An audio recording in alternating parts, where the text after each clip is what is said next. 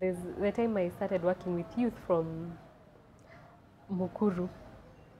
I worked with a group of youth uh, called Oasis.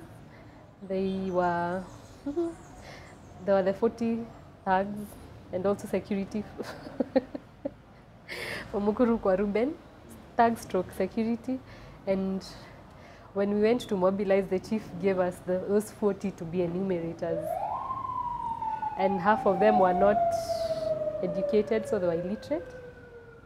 And somehow we had to incorporate them into the into the team of enumerators, give them roles so that we would be able to do enumerations in that area.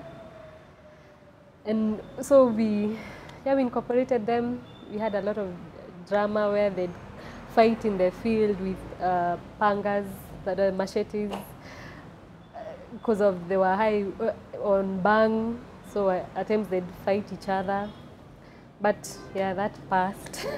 we completed the enumerations well. We got a bigger team from the community. But what was touching for me is they had a very, they still have a very big space in Mukuru. They had a big field where they had a small hall, the usual, that's where they'd carry out all their crazy activities. And uh, introducing them to one of the youths I had worked with in Mathare uh, called Kaka. So I linked up with Kaka. Kaka, they, they are in Mlango Kubwa. They do waste collection, recycling of plastics. They had football tournaments for kids. They had a social hall where they had a screen and would charge people to watch the Premier League. So I took them for an exchange to Mlango Kubwa. And once they went there and interacted with the youth, and they learned all that. And like three years or four years later, I went to Mukuru and I met one of them and he told me just come and see what we've been doing. You just disappeared, come and see. And I found they had a very nice hall. They had a community public toilet which they were charging. They had the screen and the seats. They had replicated a lot they had seen from Mlango Kubwa, which was so touching for me. At least you very small acts like those exchanges can really change even the youths in what they're doing.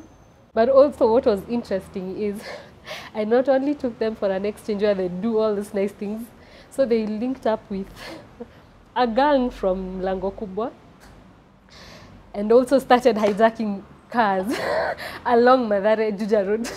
so yeah, the exchange was very good. It touched in the positive and also in the and the negative. So there's a positive out of it because like somebody like Song who's working with Pato on the schools and the sanitation, Song and a few others, like five or ten of them, who reformed, have, are doing the right things in the community. But there's also that crazy part that you took them for an exchange and they also exchanged ideas with other gangs.